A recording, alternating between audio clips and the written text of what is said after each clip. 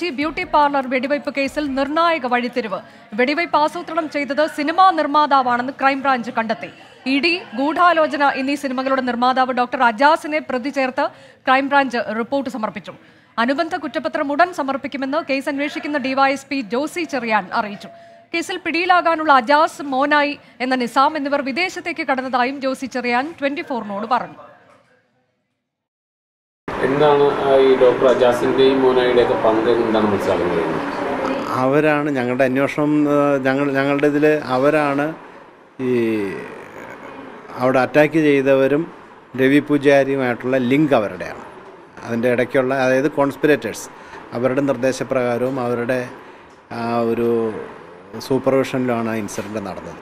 അജാസിന് അതിന്റെ അകത്ത് വലിയൊരു റോളുണ്ട് അജാസാണ് ലീനെ പറ്റിയിട്ടുള്ള വിവരങ്ങൾ മറ്റേ രവി പൂജാരിക്കുമൊക്കെ കൊടുത്തിരുന്നതെന്നാണ്.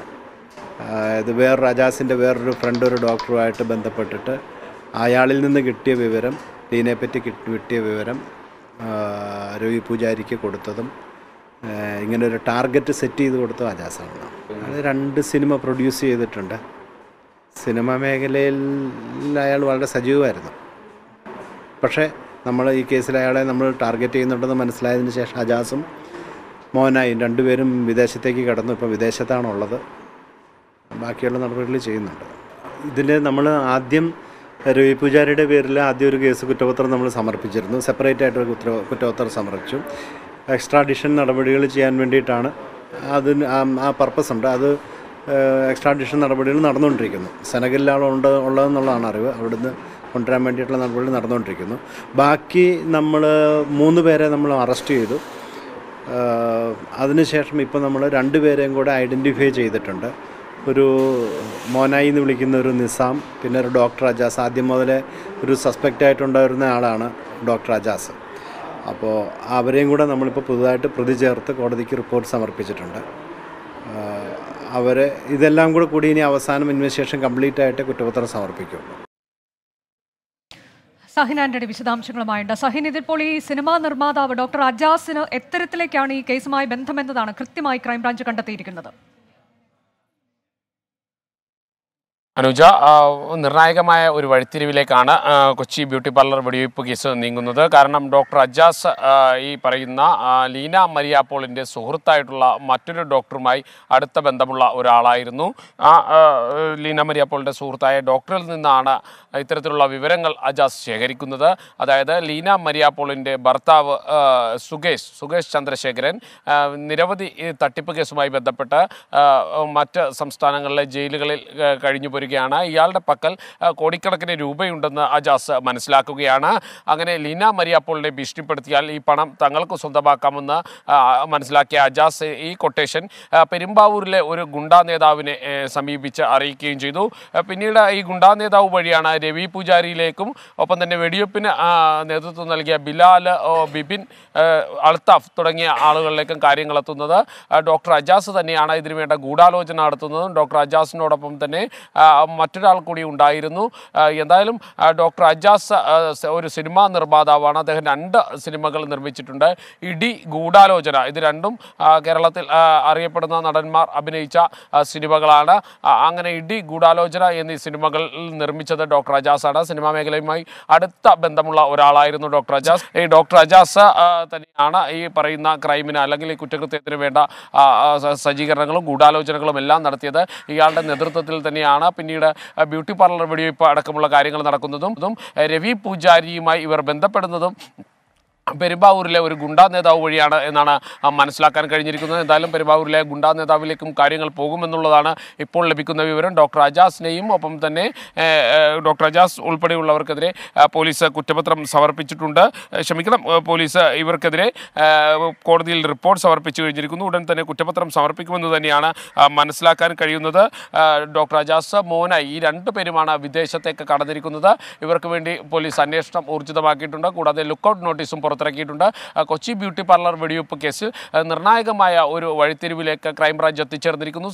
ആദ്യം ലോക്കൽ പോലീസ്. രണ്ടായിരത്തി പതിനെട്ട് ഡിസംബർ പതിനഞ്ചാം തീയതിയായിരുന്നു കൊച്ചി ബ്യൂട്ടി പാർലർ വെടിവെപ്പ് കേസ് ഉണ്ടാകുന്നത്. അന്ന് പിന്നീട് ലോക്കൽ പോലീസ് ഇത് അന്വേഷിച്ചെങ്കിലും ലോക്കൽ പോലീസിന് ആരെയും പിടികൂടാൻ കഴിഞ്ഞിരുന്നില്ല.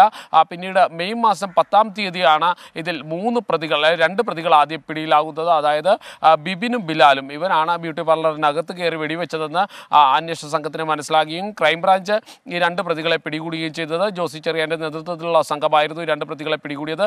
തൊട്ടടുത്ത ദിവസം തന്നെ അൽത്താഫ് എന്ന് പറയുന്ന മറ്റൊരു പ്രതി കൂടി പിടിയിലാകുന്നു. അതായത് ഇവർക്ക് വേണ്ട സജ്ജീകരണങ്ങൾ ഒരുക്കി കൊടുത്ത ബൈക്കും ഒപ്പം തന്നെ തോക്കും എത്തിച്ചു കൊടുത്തതിനാണ് അൽത്താഫ് പിടിയിലാകുന്നത്. പിന്നീട് രവി പൂജാരി ദക്ഷിണാഫ്രിക്കയിൽ വെച്ച് പിടിയിലാകുമ്പോൾ ഇയാളെ ഇന്ത്യയിലേക്ക് എത്തിക്കുന്നതിന് വേണ്ട നടപടികളുടെ ഭാഗമായി ഇയാൾക്കെതിരെ കുറ്റപത്രം സമർപ്പിക്കുകയാണ് ഉണ്ടായത്.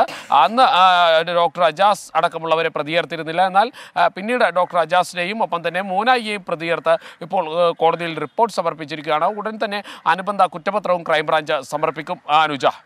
സഹനിധി രവി പൂജാരിയുമായി ഡോക്ടർ അജാസിന് നേരിട്ട് ബന്ധമുണ്ടായിരുന്നു എന്നതാണോ ക്രൈംബ്രാഞ്ച് കണ്ടെത്തൽ? അതോ സഹിൻ നേരത്തെ സൂചിപ്പിച്ചതുപോലെ പെരുമ്പാവൂരിലുള്ള ഗുണ്ടാ നേതാവ് വഴിയുള്ള ബന്ധമാണോ രവി പൂജാരിക്ക് അജാസുമായുള്ളത്? അല്ലെങ്കിൽ അജാസിന് രവി പൂജാരിയുമായുള്ളത്? അജാസിന് രവി പൂജാരിയുമായി ബന്ധമുള്ളത് പെരുമ്പാവൂരിലെ ഗുണ്ടാ നേതാവ് വഴിയാണ്. അതായത് പെരുമ്പാവൂരിൽ ഒരു കൊലപാതകം നടന്നിരുന്നു. പെരുമ്പാവൂരിലെ ടിപ്പർ ഉണി എന്ന് പറയുന്ന ഒരു യുവാവ് കൊല ചെയ്യപ്പെട്ടിരുന്നു. അന്ന് അദ്ദേഹം ഒരു ഗുണ്ടാ സംഘവുമായി അടുത്ത് പ്രവർത്തിക്കുന്ന ആളായിരുന്നു. ഈ ഇപ്പോൾ ക്രൈംബ്രാഞ്ച് സംശയിച്ചു കൊണ്ടിരിക്കുന്ന ഗുണ്ടാ നേതാവുമായി അടുത്ത ബന്ധം പുലർത്തിയിരുന്ന ഒരാളായിരുന്നു ടിപ്പർ ഉണ്ണി. ആ കേസുമായി ബന്ധപ്പെട്ടായിരുന്നു പെരുമ്പാവൂരിലെ ഗുണ്ടാ നേതാവ് ജയിലിൽ കഴിയുന്നത്. മംഗലാപുരം ജയിലിൽ വെച്ചായിരുന്നു രവി പൂജാരിയുടെ സംഘവുമായി ഈ ഗുണ്ടാ നേതാവിന് അടുത്ത ബന്ധം പുലർത്താൻ കഴിയുന്നതും സാധാരണ മംഗലാപുരം ജയിലിൽ എത്തിപ്പെട്ടാൽ സ്വാഭാവികമായി രവി പൂജാരിയുടെ സംഘവുമായി അവിടെ ബന്ധപ്പെടാൻ കഴിയും. അങ്ങനെയാണ് ഈ ഗുണ്ടാ നേതാവിന് രവി പൂജാരിയുടെ സംഘവുമായി അടുത്ത ബന്ധം വെച്ച് പുലർത്താൻ കഴിയുന്നത്. പിന്നീട് അജാസ് തന്റെ പദ്ധതികൾ ഈ ഗുണ്ടാ നേതാവിനെ അറിയിക്കുകയായിരുന്നു. അതായത് ഈ പറയുന്ന ലീന മരിയാപ്പോളിനെ ഭീഷണിപ്പെടുത്തിയാൽ തങ്ങൾക്ക് പണം തട്ടാമെന്നുള്ള തന്റെ പദ്ധതി ഗുണ്ടാ നേതാവിനെ അറിയിച്ചു. ഗുണ്ടാ നേതാവ് വഴിയാണ് രവി പൂജാരിയിലേക്ക് കാര്യങ്ങൾ എത്തുന്നത്. രവി പൂജാരിയെ പകുതി പണം ഓഫർ ചെയ്തുകൊണ്ടായിരുന്നു രവി പൂജാരിയെ കൊണ്ട് ഫോൺ വിദേശത്ത് നിന്ന് ഫോൺ വിളിപ്പിക്കുന്നതും ഒപ്പം തന്നെ ലീന മരിയാപ്പോളിനെ ഭീഷണിപ്പെടുത്താൻ ശ്രമിക്കുന്നതുമെല്ലാം. എന്തായാലും അജാസിനെയും മോനായിക്കും വേണ്ടിയുള്ള തിരച്ചിൽ അന്വേഷണ സംഘം ഊർജിതമാക്കിയിട്ടുണ്ട്. ഒപ്പം തന്നെ പെരുമ്പാവൂരിലെ ഗുണ്ടാ നേതാവിനെ ഇവരിലേക്ക് കണക്ട് ചെയ്യുന്നതിന് വേണ്ട തെളിവുകൾ പോ ക്രൈംബ്രാഞ്ചിന് ശേഖരിക്കാൻ കഴിഞ്ഞിട്ടില്ല. ആ തെളിവുകൾ കൂടി ശേഖരിച്ചു കഴിഞ്ഞാൽ പെരുമ്പാവൂരിലെ ഗുണ്ടാ നേതാവും പിടിയിലാകുമെന്ന് തന്നെയാണ് നമ്മൾക്ക് ലഭിക്കുന്ന സൂചന അനുജ. ചിലപ്പോൾ ഈ അനുബന്ധ കുറ്റപത്രം ഉടൻ സമർപ്പിക്കുമെന്നതാണല്ലോ ഡിവൈഎസ്പി പറഞ്ഞിരിക്കുന്നത്. അങ്ങനെയെങ്കിൽ ഇതിൽ ഈ മുഖ്യപ്രതികൾ എന്ന രീതിയിലേക്ക് വരാൻ പോകുന്നത് ആരൊക്കെയായിരിക്കും? ഏറ്റവും ആദ്യ സ്ഥാനങ്ങളിലൊക്കെ വരാൻ പോകുന്നത്. ഒന്നാം പ്രതിയായിട്ടുള്ളത് ഈ പറയുന്ന പോലെ തന്നെ രവി പൂജാരെ തന്നെ തന്നെ രവി പൂജാരെ തന്നെയാണ്. പിന്നീട് ഡോക്ടർ അജാസിനെ ഇപ്പോൾ അഞ്ചാം പ്രതിയും മോനായി ആറാം പ്രതിയും ആക്കി- ആക്കിയിരിക്കുന്നത്. ഒരുപക്ഷെ കുറ്റപത്രം അനുബന്ധ കുറ്റപത്രം സമർപ്പിക്കുമ്പോൾ ഇവരുടെ പ്രതിസ്ഥാനങ്ങളിൽ മാറ്റമുണ്ടാകുമെന്ന് തന്നെയാണ് മനസ്സിലാക്കാൻ കഴിയുന്നത് അനുജ. ഈ അജാസും മോനായിയും വിദേശത്തേക്ക് കടന്നു എന്നതാണ് ക്രൈംബ്രാഞ്ച് ഇപ്പോൾ കണ്ടെത്തിയിരിക്കുന്നത്. ഇവർക്ക് വേണ്ടിയുള്ള അന്വേഷണം നടക്കുന്നുണ്ടോ? എങ്ങോട്ടേക്കാണ് ഇവർ പോയത് എന്ന് എന്നതിനൊക്കെ സൂചനകൾ ലഭിച്ചിട്ടുണ്ടോ ക്രൈംബ്രാഞ്ചിന്? സഹിൻ. കൈമയിലുണ്ട് എന്നാണ് അന്വേഷണ സംഘത്തിന് മനസ്സിലാക്കാൻ കഴിഞ്ഞിരിക്കുന്നത്. കഴിഞ്ഞ ദിവസം അന്വേഷണ സംഘം റാസൽ കൈമയിൽ ഇയാളെ ഇയാളെ അയാളെ അവിടെ ആ, ബന്ധപ്പെടാനുള്ള അല്ലെങ്കിൽ ഇയാളെ ട്രേസ് ചെയ്യാനുള്ള ഒരു നീക്കം നടത്തിയിരുന്നു എന്നാൽ അയാൾ അവിടെ നിന്ന് പിന്നീട് ദുബായിലേക്ക് കടക്കുകയാണ് ഉണ്ടായത്. എന്തായാലും ദുബായ് റാസൽ കൈമ തുടങ്ങിയ ഇടങ്ങളിൽ ഇയാൾ സജീവമായി തന്നെയുണ്ട്. രാത്രി കാലങ്ങളിലുള്ള സഞ്ചാരമാണ് ഇയാൾക്ക് കൂടുതലും കൂടുതലുമെന്ന് മനസ്സിലാക്കാൻ കഴിഞ്ഞിട്ടുണ്ട്.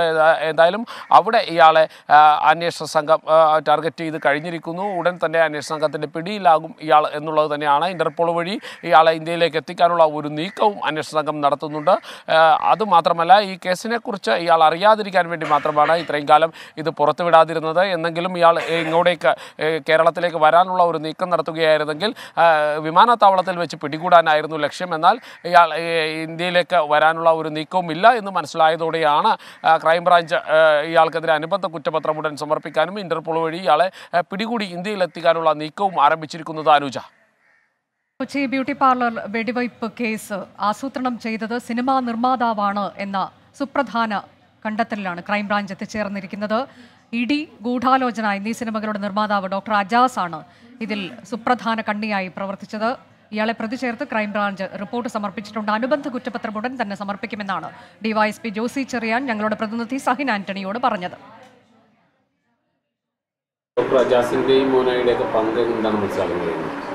അവരാണ് ഞങ്ങളുടെ അന്വേഷണം ഞങ്ങൾ ഞങ്ങളുടെ ഇതിൽ അവരാണ് ഈ അവിടെ അറ്റാക്ക് ചെയ്തവരും രവി പൂജാരിയുമായിട്ടുള്ള ലിങ്ക് അവരുടെയാണ്. അതിന്റെ ഇടയ്ക്കുള്ള അതായത് കോൺസ്പിരേറ്റേഴ്സ് അവരുടെ നിർദ്ദേശപ്രകാരവും അവരുടെ ആ ഒരു സൂപ്പർവിഷനിലാണ് ആ ഇൻസിഡന്റ് നടന്നത്. അജാസിന് അതിന്റെ അകത്ത് വലിയൊരു റോളുണ്ട്. അജാസാണ് ലീനെ പറ്റിയിട്ടുള്ള വിവരങ്ങൾ മറ്റേ രവി പൂജാരിക്കുമൊക്കെ കൊടുത്തിരുന്നതെന്നാണ്. ഇത് വേറൊരു അജാസിന്റെ വേറൊരു ഫ്രണ്ട് ഒരു ഡോക്ടറുമായിട്ട് ബന്ധപ്പെട്ടിട്ട് അയാളിൽ നിന്ന് കിട്ടിയ വിവരം ലീനയെ പറ്റി കിട്ടി കിട്ടിയ വിവരം രവി പൂജാരിക്ക് കൊടുത്തതും ഇങ്ങനെ ഒരു ടാർഗറ്റ് സെറ്റ് ചെയ്ത് കൊടുത്ത അജാസാണ് അത് രണ്ട് സിനിമ പ്രൊഡ്യൂസ് ചെയ്തിട്ടുണ്ട്. സിനിമ മേഖലയിൽ അയാൾ വളരെ സജീവമായിരുന്നു. പക്ഷേ നമ്മൾ ഈ കേസിൽ അയാളെ നമ്മൾ ടാർഗറ്റ് ചെയ്യുന്നുണ്ടെന്ന് മനസ്സിലായതിന് ശേഷം അജാസും മോഹനായും രണ്ടുപേരും വിദേശത്തേക്ക് കടന്നു. ഇപ്പോൾ വിദേശത്താണുള്ളത്. ബാക്കിയുള്ള നടപടികൾ ചെയ്യുന്നുണ്ട്. ഇതിൽ നമ്മൾ ആദ്യം രവി പൂജാരിയുടെ പേരിൽ ആദ്യം ഒരു കേസ് കുറ്റപത്രം നമ്മൾ സമർപ്പിച്ചിരുന്നു. സെപ്പറേറ്റ് ആയിട്ട് കുറ്റ കുറ്റപത്രം സമർപ്പിച്ചു. എക്സ്ട്രാഡിഷൻ നടപടികൾ ചെയ്യാൻ വേണ്ടിയിട്ടാണ്. അത് കൊച്ചി ബ്യൂട്ടി പാർലർ വെടിവയ്പ് കേസ് ആസൂത്രണം ചെയ്തത് സിനിമാ നിർമ്മാതാവായ ഡോക്ടർ അജാസ് ആണ് എന്നതാണ് ക്രൈംബ്രാഞ്ചിന്റെ കണ്ടെത്തൽ. രണ്ട് സിനിമകളുടെ നിർമ്മാതാവാണ്. ഇയാൾ സിനിമാ നിർമ്മാണ രംഗത്ത് സജീവമായിരുന്ന ഒരാൾ കൂടിയാണ്. എന്നാൽ തന്നിലേക്ക് അന്വേഷണം നീളുന്നുവെന്ന സംശയം വന്നപ്പോൾ അജാസും ഒപ്പം തന്നെ മോന എന്ന നിസാം വിദേശത്തേക്ക് കടന്നിട്ടുണ്ട് എന്നതാണ് Josy Cherian crime branch DYSP Sahin ആന്റണിയോട് പറഞ്ഞത്. അനുബന്ധ കുറ്റപത്രം ഉടൻ തന്നെ സമർപ്പിക്കുമെന്നും ഡിവൈഎസ്പി വ്യക്തമാക്കി.